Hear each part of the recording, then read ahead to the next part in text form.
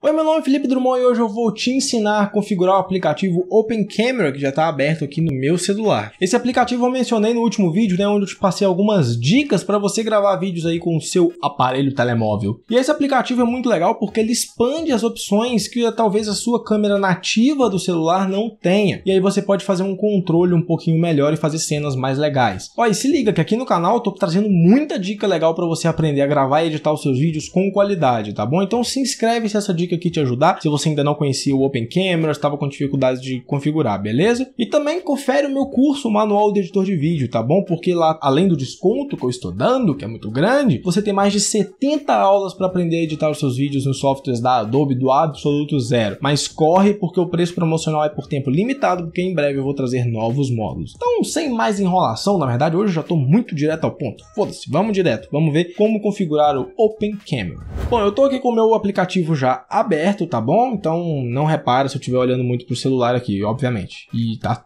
Tá aparecendo aqui, você tá, tá ligado já. Primeira coisa que eu vou fazer é vir nessa engrenagemzinha aqui em cima para poder mexer em algumas configurações do aplicativo. E aqui a gente tem, uh, por exemplo, Photo Settings, Video Settings e tudo mais. Aqui em Photo Settings, a gente pode configurar a resolução da câmera, né? Ou seja, o tamanho da foto, e aí você escolhe o tamanho que você quiser. Para foto eu deixo aqui no máximo, porque eu nunca uso é, o Open Camera exatamente para fotografar. Tem aqui a qualidade da imagem, que o valor máximo é 100%, né? Mas no default eles deixam em 90, ou põe em 100. Obviamente que qualidades mais altas, configurações mais altas, faz arquivos mais pesados. Formato de imagem eles têm uh, WebP, PNG e JPEG, eu deixo em JPEG mesmo. O resto aqui eu não mexo. Aqui em Video Settings a gente tem algumas configurações semelhantes, como a resolução do vídeo, que eu deixo aqui no Full HD. Tem aqui a resolução de 4K, só que a câmera do meu celular não faz 4K, então não tem por que deixar uh, em 4K, porque não vai ser 4K de verdade, né? Mas se o seu celular faz 4K, pode deixar se você quiser. Vai gerar arquivos muito pesados, tá? Saiba disso. Eu deixo ali em 1080p mesmo. Aqui no formato de vídeo, eu deixo no default, você pode escolher algum se você quiser, mas eu deixo no padrão mesmo. Bitrate eu deixo também no padrão, mas você pode configurar o que você quiser, lembrando que bitrate é quantidade de informação na sua imagem. Ou seja, 200 megabits por segundo vai ser muita informação, então vai ter um vídeo muito pesado. Quando eu renderizo os vídeos aqui do canal, por exemplo, exemplo, eu renderizo em 30, 35 e dá uns vídeos aí, considerando que é o vídeo editado já, ou seja, curtinho, uh, uns 3, 4 gigas, mas depende muito, né? Aí você deixa no que você quiser. Eu deixo no padrão porque eu não quero vídeos tão pesados assim. A gente também tem os frame rates, né? Ou seja, quantos quadros por segundo. Eu deixo no padrão aqui de 30, quer dizer, o padrão é padrão, mas eu deixo no 30. Mas também gosto de fazer vídeos em 24 frames dependendo da minha proposta. Uma coisa que eu não faço é gravar em 60. Por quê? Porque a câmera do meu celular celular não entrega 60 quadros, então não adianta, né? Não vai forçar também. E aí o resto aqui eu não mexo. Mentira, mexo sim. Aqui no áudio eu marco, né? Gravar áudio e a fonte do áudio é muito importante. Se você deixar aqui no external mic if present, ou seja, um microfone externo se presente, é o microfone que você plugar aqui no seu celular. Lembrando que existe um adaptador próprio para isso, enfim, pode ser o fone de ouvido também. Raramente eu uso, né? Porque eu tenho aqui o microfone condensador no computador. Mas você pode deixar o padrão, se for o caso de usar o microfone do celular mesmo, eu deixo aqui no external mic mesmo, caso eu plugue algum aqui no celular. E agora sim, é só isso, a gente pode voltar para a tela inicial. Aqui no preview da câmera, vocês estão vendo que eu estou segurando o celular assim, é justamente para não aparecer a imagem, né? Mas tudo bem, acho que aqui não tem problema não, porque eu não quero que estoure a luz. Olha aí o Inception,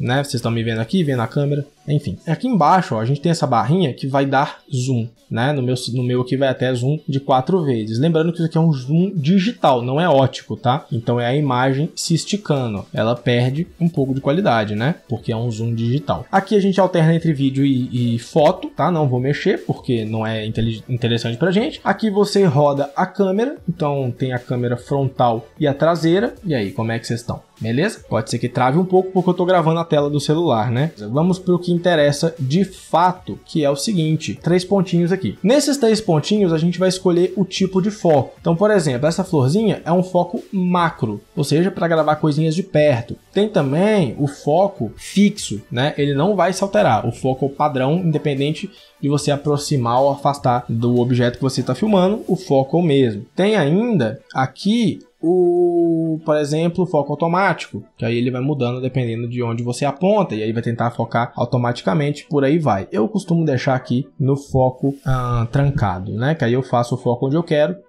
e travou, só clicando na tela. Agora a gente pode ir para outra opção aqui do Open Camera, que é esse quadradinho com menos e mais aqui, que é o símbolo clássico aí da exposição, por exemplo. E aí aqui a gente configura o ISO. Lembrando que o ISO, assim como eu expliquei no vídeo de como configurar uma DSLR, quanto mais baixo, menos sensível tá a lente. Então, o sensor, né? Então vai entrar menos luz. Repara como que escureceu. Se eu botar no, e, no 3200, que é o máximo dele, vai ficar uma imagem super esquisita, porque estourou tudo, né? Geralmente eu deixo aqui no máximo, no celular, né? No máximo 400. A imagem da câmera aqui agora está em 400 também, só por curiosidade. Aqui a gente tem a compensação na exposição. Repara só, que eu marquei aqui, vamos supor, 200 de ISO. E está muito escuro, eu venho aqui e aumento essa compensação. Aí se eu botar em 800 e está muito claro, eu diminuo aqui essa compensação. E aí eu vou fazendo um equilíbrio dessas duas configurações. Lembrando que aqui a imagem está muito estranha porque eu estou apontando diretamente para a luz. Essas são as configurações assim mais básicas possíveis aqui do Open Camera para você já fazer aí os seus vídeos. Algumas coisas interessantes aqui dessa parte aqui nos três pontinhos que eu acabei pulando. Não é só a questão do foco, tá? Tem também o flash, né, que aqui no meu caso está desligado, mas tem o torch, que é a tocha que liga aqui o flash do celular e fica constantemente ligado. E aí é mais uma fonte de luz, o que é interessante também, mas eu raramente uso porque essa luz do flash do celular aqui não é das melhores, né? Mas não tem problema, pode ser um quebra-galho. A gente tem também aqui, ó, a resolução do vídeo que a gente já selecionou, né? Tem também a velocidade de gravação, um timer, um repeater e um grid. Esse grid aqui é muito importante, principalmente para você fazer enquadramentos. Repara que a minha tela tá com um grid de 3x3, né? São nove retângulos. E aí eu posiciono o que vai ser gravado de mais importante aqui em um desses quadros, né, em um desses dessas interseções. Aqui na tela do computador você pode ver que também tem a mesma configuração de grid, né? Enfim, aí é uma coisa para enquadramento. Recomendo que você utilize sim esse grid, tá, de 3x3. E caminhando aqui para o final, a gente tem algumas questões como balanço de branco, lembra que eu te falei, dependendo da luz que você estiver usando, você vai lá e escolhe esse balanço de branco. Como eu tô usando luzes fluorescentes, luzes de LED, né, num ambiente interno, o meu balanço de branco está em fluorescente, assim como a minha câmera também. Mas você pode escolher outros se você quiser. Aqui no modo de cena, né? A gente tem alguns filtros, digamos assim, e aqui no Color Effect a gente tem como se fosse outros filtros também né, de cor mesmo para sua cena. Então, se você já quiser fazer um vídeo aí com alguma cor específica, com alguma imagem, aspecto específico, você faz. Não recomendo, faça isso na edição que é melhor que você tenha um controle. E clicando aqui nesse cadeado lá em cima, você trava a sua exposição. Então, independente de para onde você apontar a sua câmera, a exposição vai se manter, então não vai ficar clareando e escurecendo o tempo todo.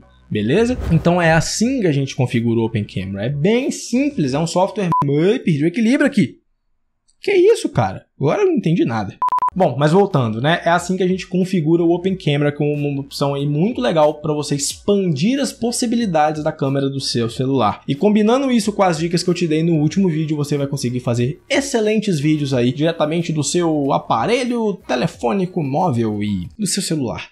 Às vezes eu tento falar difícil, não sai. E se esse vídeo te ajudou, eu fico muito feliz. E sabe com o que eu vou ficar mais feliz ainda? Com você retribuindo essa ajuda se inscrevendo aqui no canal. Realmente eu espero que esse vídeo tenha sido útil. Beleza? No mais é isso, a gente se vê numa próxima.